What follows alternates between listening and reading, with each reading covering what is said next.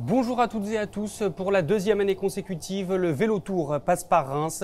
Ce dimanche, les cyclistes pourront découvrir ou redécouvrir différents lieux emblématiques de la capitale des Sacres et notamment les rotatives de notre journal où je me trouve actuellement. Présentation de l'événement avec Guillaume Gesselin en charge de l'organisation. Le Vélo Tour, c'est un événement qui a été créé il y a plus de 15 ans déjà à Dijon sur le concept en fait d'une balade euh, insolite à vélo euh, pendant laquelle en fait on traverse des lieux qui sont interdits à la pratique du vélo habituellement. Alors l'objectif premier, c'est vraiment de, bah, de, faire plaisir aux gens et de faire redécouvrir un petit peu sa ville, puisque c'est des gens plutôt locaux. Donc refaire découvrir sa ville euh, à des participants qui ont envie de redécouvrir un petit peu leur ville de manière insolite.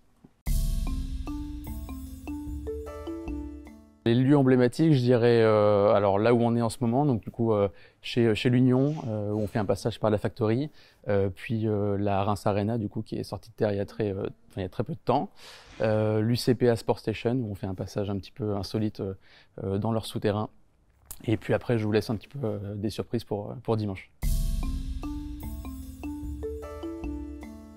Pour nous, c'était tout naturel puisqu'en fait, on se dirigeait vraiment vers la zone, euh, ben, vers cette zone. Euh, on passe notamment par par le, dépôt de, bus Citura qui est situé pas très loin à côté.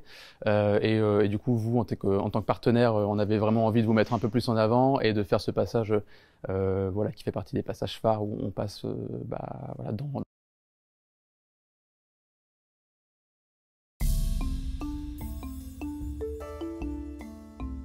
Alors tout le monde peut s'inscrire, c'est vraiment un événement qui est accessible à tous, euh, enfants comme euh, personnes plus âgées. On, travaille vraiment pour avoir un parcours qui est, euh, qui est, accessible à tous, avec peu de dénivelé, peu de difficultés. donc voilà, vous êtes tous les bienvenus. Alors les tarifs, ils évoluent en fonction de la date d'achat. Euh, plus on s'inscrit tôt, plus on a des tarifs privilégiés. Euh, plus on s'inscrit tard, plus on va payer un peu cher. Euh, un peu cher. Pas très cher, mais un petit peu plus en tout cas. le tarif moyen, est de 8 euros globalement. L'idée, c'est que c'est un événement festif, familial, donc les enfants adorent se déguiser, les adultes aussi, donc l'idée c'est d'avoir quelque chose bah voilà, où les gens euh, se, retrouvent, se déguisent euh, et le sourire toute la journée. Donc voilà, on insiste là-dessus. On attend 4000, voire un peu plus. donc par rapport à l'année dernière, c'est top. donc c'est même ça va être un, petit record, je pense, pour une deuxième édition à Reims.